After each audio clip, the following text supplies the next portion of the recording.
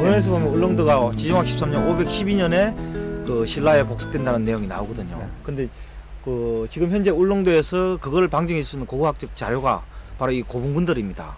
현재 그 울릉도에 있는 고분군들은 대, 대략 6세기 중력부터 10세기까지 상당히 긴 동안 지속적으로 음. 이제 사용을 하는데요. 그 여기 고분군에서 6세기 중엽에 신라 토기들이出토가 되거든요. 그리고 뭐 동간들도 출토되고 하는데 이 울릉도의 고분군은 이제 육지와 좀 다르게 뭐 이제 평면 방 모양이 그 세장 방향의 그 주형입니다. 배 모양으로 평면이 이렇게 배가 볼록하고 음. 천정도 개석이 들어서는데도 배가 볼록합니다. 근데 재밌는 게 대부분 이렇게 산 사면에 경사진대에 많이 이렇게 음. 이 고분군들을 이렇게 이 축조를 하다 보니까 산이 이렇게 경사가 지면은 여기에다가 축대를 먼저 쌓습니다. 음. 돌로 축대를 쌓고 그 위에 뒷부분에 그 평지하고 좀 팽팽한 부분에다가 이렇게 석실을 쌓고 음. 그, 그 위에 개석을 올리고 특히 더 재밌는 게 보통 이 봉분들을 흙으로 봉토분을 음. 쌓는데 여기는 적석을 하여 봉석이라는 용어를 쓰거든요. 그 적석을 하여 이제 공분을 이제 이렇게 쌓습니다. 이게 상당히 이제 재밌는데 현재 고고학계에서는 경상북도 북부 지역 음.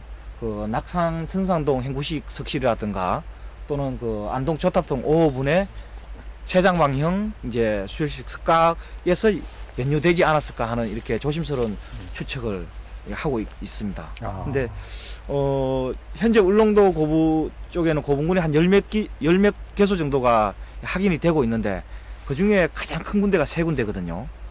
그 현포리, 그다음에 천부리, 이 남설이 여기가 이제 가장 고분군으로서 가장 크고요. 어 최초 조사 시는 57년도에 이제 남설이 고분군이 조사가 되었는데 그 당시 때 32기 정도가 확인이 되었습니다. 근데 지금 현재는 뭐 사라지고 이래갖고 한 열 몇 기 정도가 남아 있는 것 같습니다. 그리고 또 이 남서리 고분군의 특징은 현포리하고는 다르게 좀 산이 가파른 이런 경지에다 쌓고요. 그 다음에 그 묘각의 장축 방향이 바닷가를 바라 계곡 내부를 바닷가를 바라보는 이런 모양으로 지금 되어 있습니다. 그러니까 즉 동거선 방향하고 직교되게 예, 이렇게 이제 이게 추- 이 축조를 하고 있는데 상당히 그 울릉도식이라고 할 수 있을 정도로 그 전반적으로 고분군들이 독특하고 재밌습니다. 요 보시면은 요 장벽 장벽에 요거 선이 이렇게 배가 볼록하게 둥글게 호형으로 돌아가고 있습니다. 양 장벽이 이렇게 돌아가는 거. 예, 그리고 이쪽에서도 보시면은 이렇게 둥글게 돌아가고요. 근데 또 재밌는 거는 이 천정에서도 예. 이 개석들이 미세하지만은 이렇게 호형으로 배가 볼록하게 둥글게 이런 모양들이 나타나고 있거든요. 이런 거를 이제 그 고고학계에서는 그 주형 모양이라는 말을 쓰고 있습니다. 세장 방향의 행구식 석실묘라는 말을 쓰고 있는데요. 이런 것들이 그 타 지역하고 상당히 다른 울릉도만의 독특한 묘적인 것 같습니다.